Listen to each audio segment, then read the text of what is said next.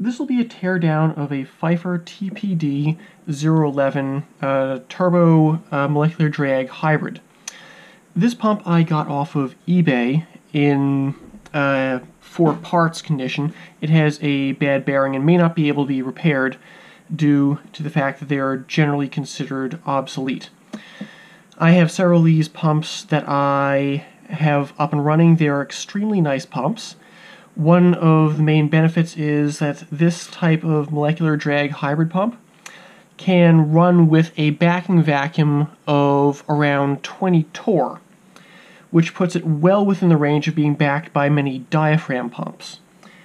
So a typical four-stage diaphragm pump can get down to around 500 millitorr, so that, that's more than sufficient to back one of these pumps. They run on 24 volts DC and have their own integrated controller, and that controller is the uh, TC100 controller by Pfeiffer. I've already removed all the screws from this, so I'll just start to tear this down. So this is the Pfeiffer TC100 controller. It has a DB15 pin on the input and the Pfeiffer uh, connector for the pump on the output. This plugs in and is connected by two bolts there. This runs on 24 volts. It can take uh, digital input lines for control, or you can control it over an RS-485 interface. This is the main pump, pump body. Here's the input power connector for the pump. On this side there was a backing connector that has been removed already. So both these ports are tied together and then tied to the backing pump.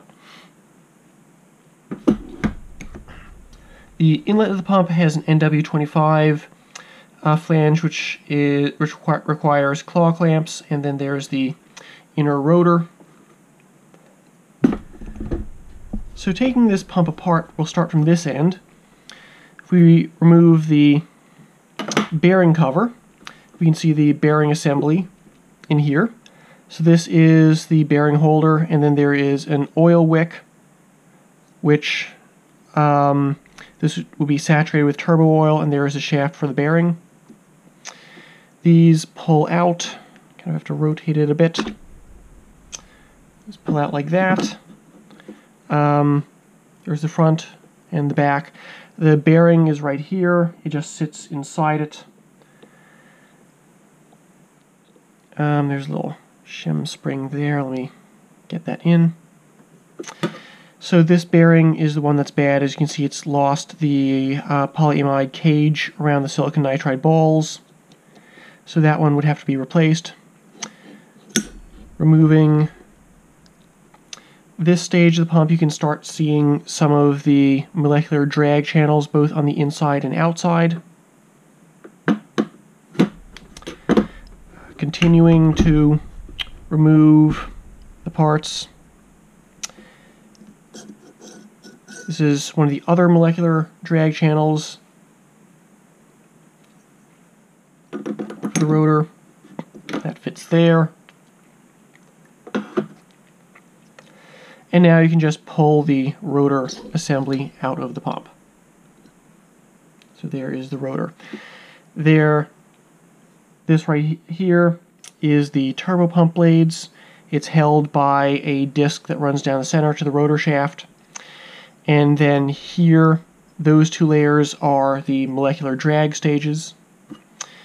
This bearing on the bottom, you can see, still has the polyamide cage in there for the balls, so that one still may be functional. Removing the center of the pump body, you can see the input NW25 connect uh, flange, and there's the hollow center of the pump. And on this side, the pump is just identical with the exception that the uh, motor is in this side of the pump. So you have the molecular drag stage, and then the pump body.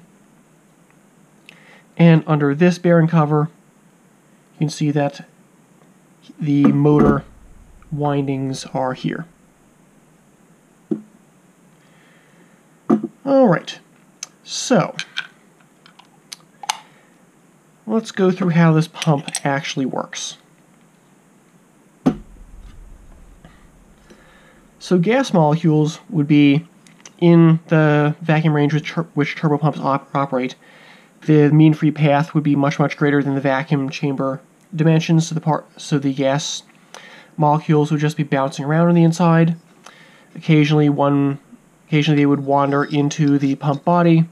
They would come into contact with the turbo blades and be pulled down into the pump. At which point, this entire rotor assembly is spinning and the um, drag between the surface of these carbon fiber cylinders and these helical notches in the body uh, literally drag the gas molecules, hence the name molecular drag, uh, along the axis of the pump. Actually, let me just put that one on. So the gas molecules are dragged up here, then they go around the corner and are dragged along this helix, which you can see is a finer channel and tighter pitch. They're dragged down to the bottom of that rotor assembly.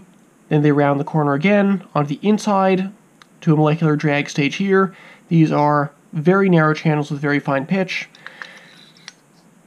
There, the gas molecules are transported up to the exhaust flange where they are pumped out by the backing pump. Now the two sides are of the pump are isolated by the disc that holds the turbo um, vane rotor. So each of these two backing ports is connected independently and then they are tied together. So that's the basis of how the Pfeiffer TPD 011 pump works. These have been replaced by a newer model called the HiPace 10, which is basically the same pump except it has a nicer controller and I'm told they have some modifications on maybe the bearing and lubrication system. So that's all for this pump. I'll come back with a later video showing how this is built into a portable turbo station with some of the operational pumps that I have.